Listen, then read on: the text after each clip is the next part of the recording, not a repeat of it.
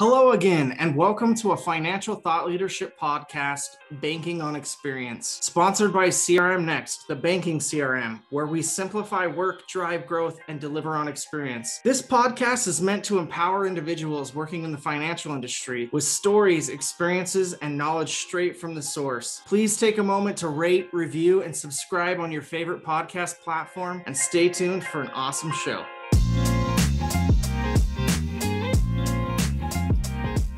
Hey, everybody, thank you for joining another episode of Banking on Experience. I'm your host, James Gilbert. Today, I am joined by Sundie Seefried, who is the CEO and president at Safe Harbor Financial. She's also the former CEO at Partner Colorado Credit Union. Welcome to the show, Sundie. Thank you. It's great to be here. I'm particularly excited about this because it gets me kind of fired up. Um, we're going to be talking about implementing a culture that delivers and why it just needs to be a little bit more than just talk. Before we do that, what is your perfect day outside of work? That would be something I would do on a Saturday. Maybe do a little oil painting in the morning and then go up and hike for a couple hours and and then eat ice cream. What's your favorite ice cream? Yeah. What's your go-to ice cream? Dairy Queen blizzards. nice. What flavor? Come on, you got to give more detail than that. okay, I order the same thing. They know me very well at this Dairy Queen. I order chocolate blizzard medium. At least I don't go to the large and uh, put cocoa fudge and peanut butter in it. It's my favorite. I've oh yum addiction to it right now. I didn't know you were an artist. Oil paintings. You're gonna have to. Is that one behind you that you did? No, no, but that's one I'd like to do. I, but I, I definitely do a lot of oil painting. I, I had to give it up during the project because I just had absolutely no time, and all my energy and talent and creativity went to the projects that I was involved in. But I'm going to hopefully get back to it soon. I can't say that I'm an artist in the sense like you probably, but I, I do love to paint and draw. For a long time, I was actually going to be an architect um, so I got very used to drawing buildings and drawing house plans out. I still sometimes just like will sit on a Sunday and my kids while they're coloring, I'll sit there and like draw just because I like it. it's relaxing, is it not?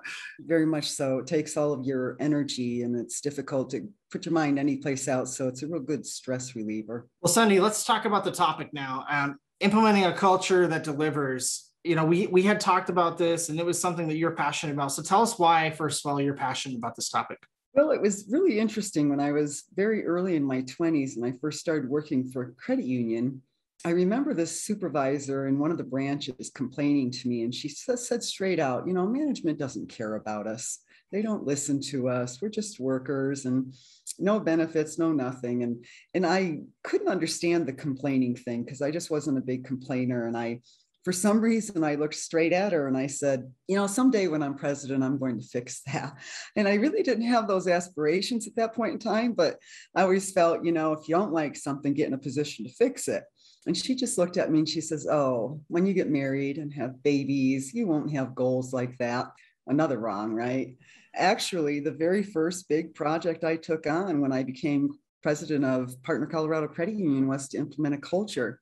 And you know, the attrition rate was in excess of 50% at that point in time. So there was a really good reason to do it as well.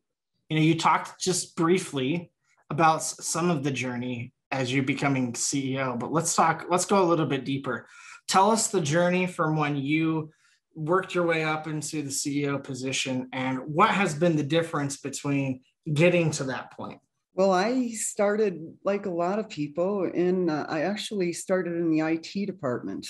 You know you get to learn a lot about the credit union knowing the it and, and actually implement it and training on it. And from there i went to a training job and from there i went to branch manager.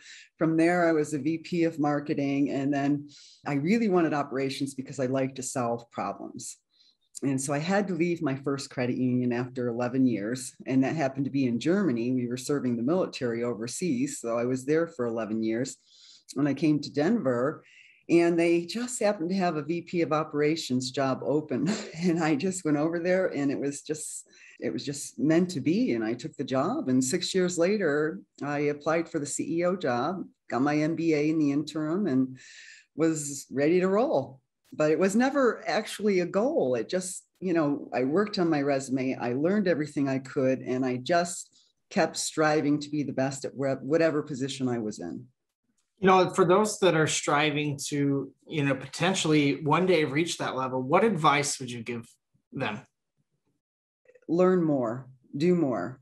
I was really good about taking on the projects nobody else wanted. Oh, start a loss prevention department, I'll do it. Start this, I'll do it. Implement a call center, I'll do it. You know, we, we were a $100 million credit union at that point in time. So I was never afraid to take on something new that was meaningful for the organization and learn it from the bottom up and organize it. So I, I, I, say just learn everything you can and always be ready to take on more because it ultimately will build that resume and your career. Mm, I love that. Stretching outside of what you might be comfortable, I think, is a really good way to put it. What have you learned from some of the failures that you've ran into? Because I mean, that's one of the things that we talked about prior to us getting on and, and recording was how important it is to learn from those failures and allow it, allow failures to happen. Yes, you have to be able to accept a failure now and then. And and you know, being the perfectionist that I am, and it does drive me it's really difficult to face those failures, but you have to tear them apart and get introspective and really understand maybe what you did wrong and what you could do better next time and take that corrective action. I think the failures that I had were more political which is why I run more on competencies. And thank goodness the board I had, even though they would call me ornery from time to time, they still appreciated the fact that I was so competent and I was more on task. And and there were no politics in, inside the organization. So we really did away with the politics to make sure that those with competencies could grow in their position and know that they didn't have to you know be the nicest person have the most friends you know really you know, we really promoted on competencies. And i think that staying away from the game playing because when you stay away from game playing that rises up and it ends up moving out of the organization because the rest of the team doesn't like to play games. I don't think i've ever heard it put like that. Give some examples of what you mean by games that are played. So i hired a vp once from the outside and it was a specialized position. And within a couple months, the colors start coming out. And at this point in time, the senior team was pretty solid and working together. Again, most of them were promoted from within and they're very competent.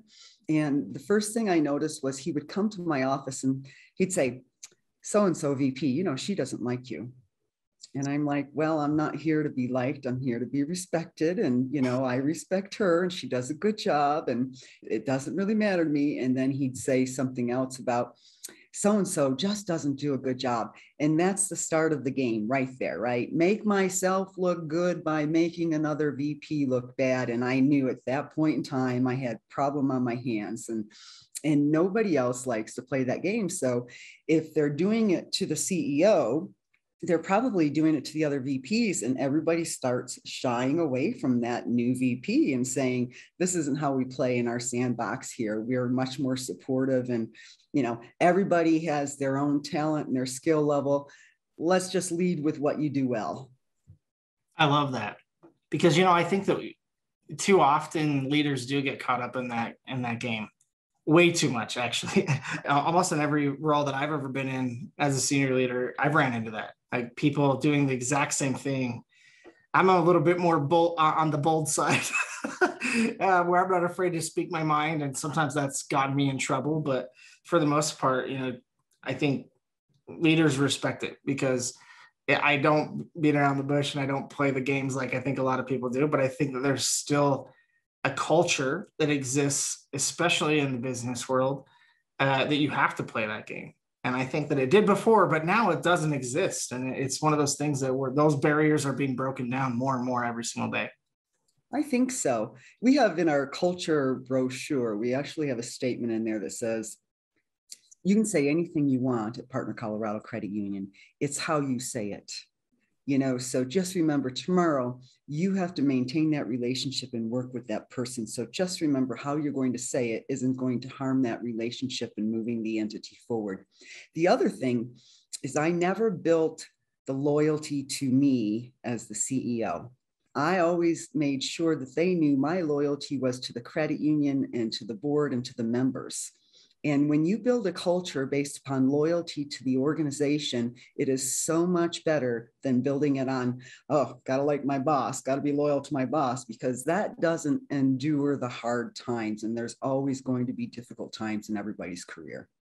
So, what advice would you give people that you know aren't yet at a senior level leadership position where they can drive change like that? What advice would you give them to try to plant the seed into their leaders' minds as well? First of all, and I have a son who's in credit unions, and he's every time a job comes open, he's like, Mom, I, I really want this job. And I'm like, Well, say something. Say something. Saying nothing is going to get you a no. So the first thing is to say something. Always let people know that you want to do more, that you want to go further, that you are willing to do what it takes. What's it going to take? And so that's the first thing I would say. The second thing is be relentless. Always have the ideas. Don't be the complainer.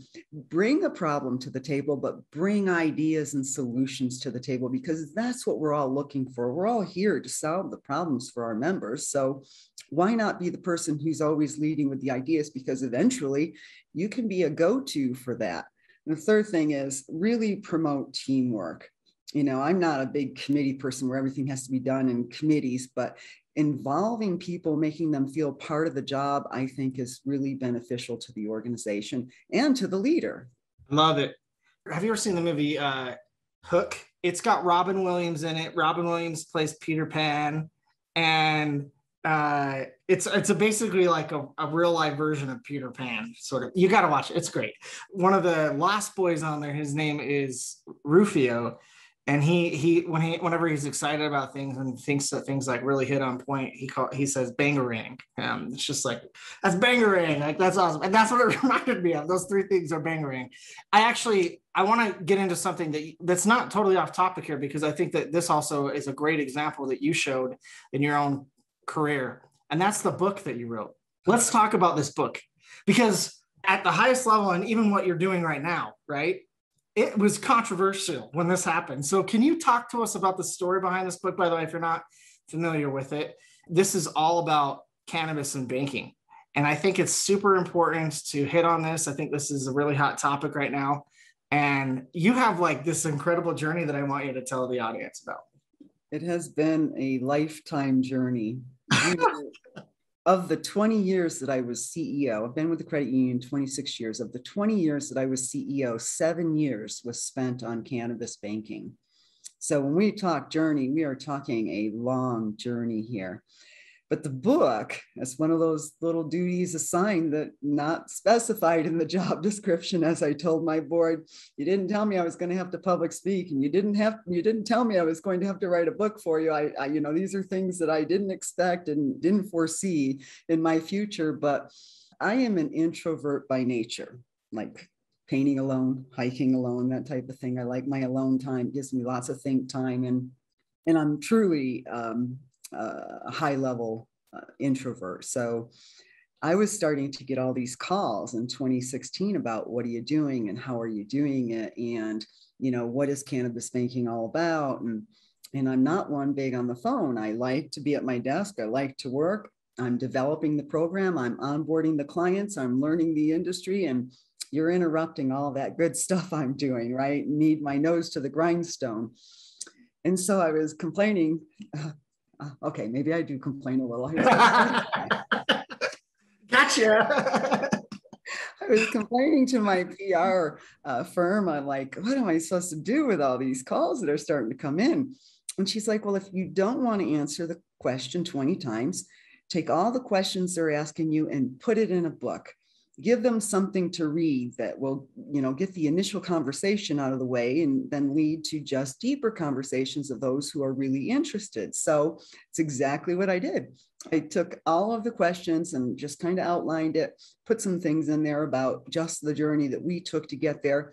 And then when people would call me i'd say you know let me give you a book or let me send you a book or buy the book and and when you finish that book we'll be able to have a deeper conversation about cannabis banking but more importantly you will see whether or not you have the stomach to do what we're doing. And it was still in the very early stages. What people didn't realize at that point in time is the amount of pressure that was on financial institutions in 2015, 2016 to get that job done, like enduring 15 exams inside of five years.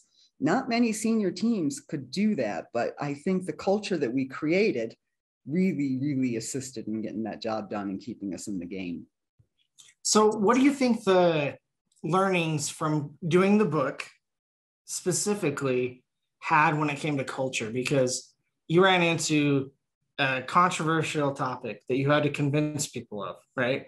So, talk to us a little bit about that and how it played a role into culture the moral judgment. Now we're going back to 2015 here, and when we involve ourselves in a project, we we go deep. You know, we don't want to fail, and you know, the fear of failure is a driving force in and of itself. And and you know, people were saying, "Oh, she's going to get prosecuted. She's going to go to jail. You know, she doesn't know what she's doing." Well, you know, I was I was afraid of all that stuff too. So it just made me dig in deeper and and you know the the culture and the team behind me you know and i made one mistake in the very early stages and i tried to keep it very quiet from staff because the fewer people i involved i felt was a lower risk for them on a personal level and more risk for me and i was willing to take that risk in my career but that was probably a mistake in hindsight because they were used to having a trusting relationship with management. And here I was keeping things quiet from them.